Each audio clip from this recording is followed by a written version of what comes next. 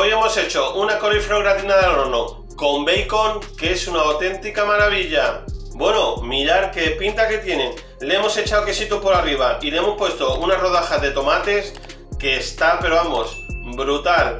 Abajo en la cajita de descripción os dejaré todos los ingredientes. Venga, empezamos. Lo primero que vamos a hacer es cortar la coliflor. Venga, le quitamos el tallo este verde.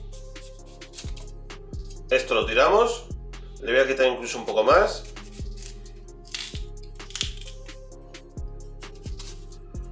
Con cuidado de no cortaros. Pero vamos, esto es muy sencillo. Ahora, conforme está así, con una puntilla, lo vamos a ir cortando un poco. Vamos a ir sacando los trozos. ¿Veis aquí? Así. ¿Vale? Esto verde lo vamos quitando. Y nada, lo vamos cortando. ¿Veis que aquí tiene como un corazón? Si se lo cortáis, luego sale muy fácil. Esto lo tiramos. Y nada, ya veis cómo se va saliendo. Venga, está por aquí. Este que veis que es más grande, lo cortamos por la mitad. Así. Ahora lo vamos a meter en un bol con un poquito de agua para lavarlo un poquito y lo vamos a cocer. Ahora en una cacerola con agua que ya se está hirviendo le vamos a echar un poquito de sal. Cogemos la coliflor y la metemos. Venga, para adentro. Venga, toda para adentro. Perfecto.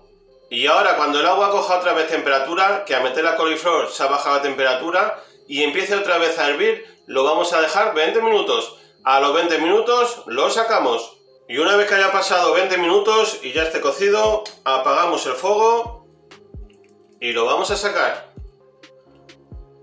Lo sacamos a un escurridor.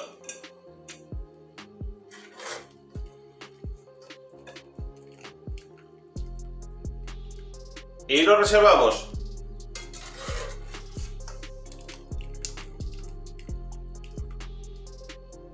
Hoy en nuestra bechamel le vamos a echar una cebolla y dos dientes de ajos. Así que venga, vamos a picarlo. Venga, lo cogemos. Le hacemos así unas tiras o cortes, como queráis decirlo. Y otra aquí en el medio, porque hoy la quiero pequeña. Y nada, la picamos.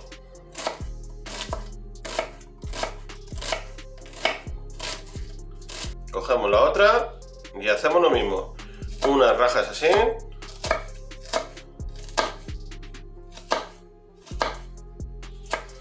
Otra aquí en el medio. Y lo picamos.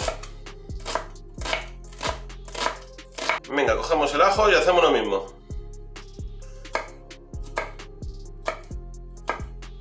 Le cortamos y le picamos. Cogemos el otro, igual le hacemos así en unos cortes Aquí que es más grande le pongo aquí uno en el medio. Y lo picamos. Y nada, lo reservamos también. Y para hacer nuestra bechamel, en una sartén le he metido una cucharada, cucharada y pico de aceite de oliva virgen extra. Y por aquí tenemos la cebolla que hemos picado. Venga, se lo echamos. Le ponemos también los dos dientes de ajos. Le echamos un poquito de sal. Y lo vamos a dejar aquí que se rehogue durante 6-8 minutos a fuego medio. Ahora mientras se rehoga la cebolla y el ajo, vamos a partir un poquito de bacon. Yo aquí tengo 200 gramos de bacon, que como veis, ahí lo muy fino. Lo podéis hacer del tamaño que queráis. Lo vamos a cortar, mirad, lo vamos a cortar sin entiras.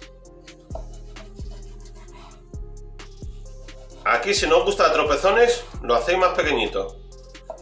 Ahora le damos la vuelta y lo cortamos otra vez. Yo le voy a echar 200 gramos, pero le podéis echar la cantidad que queráis. Si queréis echarle un poquito menos, le podéis echar un poquito menos. Con esto es suficiente. ¿Vale? Daros cuenta que el bacon, una vez que luego se empieza a freír un poquito con la cebolla, se va a separar todo. Así que no hay problema. Venga, lo reservamos. Y una vez que tengamos el ajo y la cebolla rehogado a nuestro gusto, le vamos a echar el bacon que hemos picado. Y lo vamos a remover bien. Ahora vamos a dejar que se fría bien el bacon. Y una vez que tengamos el bacon frito a nuestro gusto, le vamos a echar 80 gramos de mantequilla. La mantequilla que estoy utilizando es sin sal. Y venga, vamos a dejarla ahí que se vaya deshaciendo toda. Que esto no va a tardar nada. Y cuando tengamos la mantequilla bien deshecha, le vamos a meter 80 gramos de harina, harina común. Y la vamos a cocinar un poquito. Siempre cocinar un poquito la harina para que no sepa crudo. Y ahora conforme tengamos la harina bien cocinada, le vamos a empezar a echar la leche. Yo en total le voy a echar 800 mililitros de leche. Venga, y ya con unas varillas lo vamos a ir a empezar así, a mover.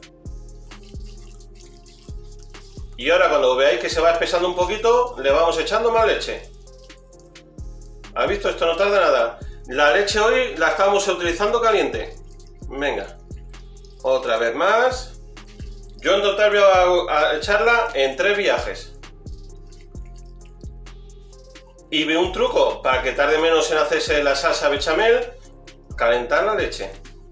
Mirad cómo va espesando de rápido Pues ya le echamos el resto.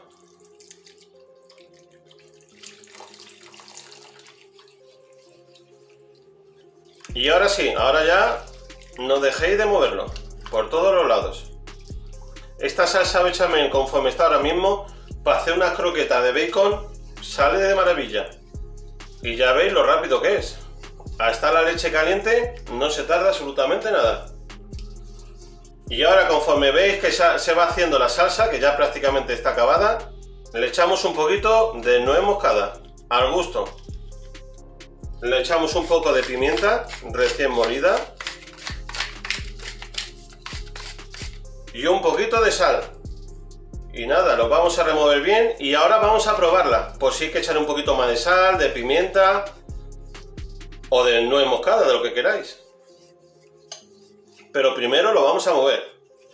Cogemos un poquito y lo vamos a probar. Le voy a echar un poquito más de sal. Ya habéis visto que antes le he poquito. Y lo removemos otra vez. Y venga, vamos a probarlo de nuevo. Una vez que ya lo hemos movido bien. Riquísima. Ha salido, pero vamos, muy, muy rica. Y ya habéis visto que no se ha tardado absolutamente nada. Ahora en una fuente de horno ya estamos metiendo la coliflor. Otro trocito. Aquí si la coliflor es más grande, pues cogéis otro recipiente más grande. Esta la ponemos aquí.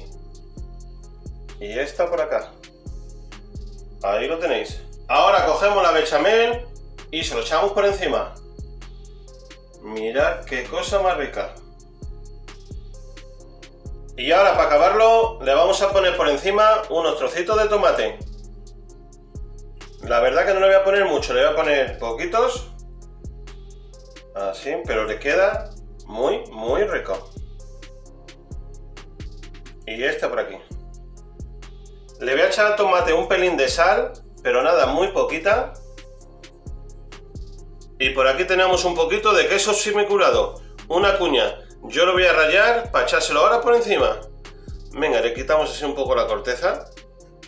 Y ahora con un rallador con los agujeros más gorditos, nada, lo vamos a rallar. Le podéis echar el queso que queráis. Yo la verdad que esta receta con queso semicurado, a mí me encanta. Le podéis echar queso mozzarella, le podéis echar los cuatro quesos que hay también. Cualquier queso rallado os vale. Pero así coméis más sano, como lo estoy haciendo yo hoy. Y la verdad, está buenísimo. Venga, y una vez que lo tengamos rallado, Ahí lo tenéis. Venga, lo cogemos, lo voy a echar en un bol. Y por encima le vamos a echar el queso que hemos rallado. Si queréis, podéis poner primero el queso y luego el tomate. Eso como queráis. Pero yo lo hago así para que el tomate se impregne también de queso. Y está el tomate brutal. Yo he rallado 300 gramos de queso. Ahí lo veis. Pero podéis echar la cantidad que queráis. Y ya que me queda un par de rodajas de tomate y no lo voy a tirar, la vamos a poner encima. Y le echamos otro poquito de sal. Mi horno ya se está precalentando a 200 grados, calor arriba y abajo. Lo vamos a meter al horno unos 6-8 minutos más o menos, que se gratine bien. Y ya depende de vosotros, si lo queréis más tostadito lo dejáis un par de minutos, si lo queréis un poquito más blanco, pues nada, lo cogéis, lo apagáis, lo sacáis y perfecto. Y por aquí ya lo tenéis, yo lo he dejado gratinar durante 8 minutos y el tomate como veis se queda muy bien asado y el tomate cuando cojáis la cuchara con el queso está increíble. Ahora lo voy a dejar 10 minutos que se enfríe un poquito antes de probarlo porque si no me voy a quemar toda la boca. Bueno, vamos a probar esta coliflor gratinada con bacon que está, probamos, brutal. Lo he dejado que se pusiera un poquito frío porque no había quien me metiera mano. Venga, va por vosotros.